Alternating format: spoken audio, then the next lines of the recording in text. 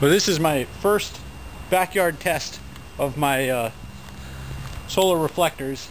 It um, unfortunately keeps uh, getting cloudy, so I can't. My my test seems to have stopped a little bit.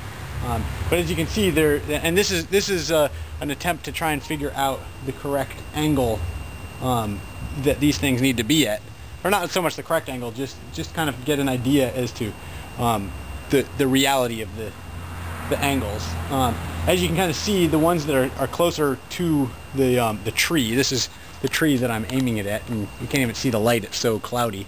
Um, but the ones that are closer have kind of a, uh, a, a, steeper angle, or a, uh, I guess a, sh a, shallower angle, and then the one farther away is a very steep angle. Um, and so as the, the sun moves, they'll, they'll ultimately move. I think the, the, um, the point that's touching the ground has to be raised up maybe four feet in the air so that when the sun's on the other side um, it will angle the correct the correct way. So um, we'll find out when uh, the sun comes back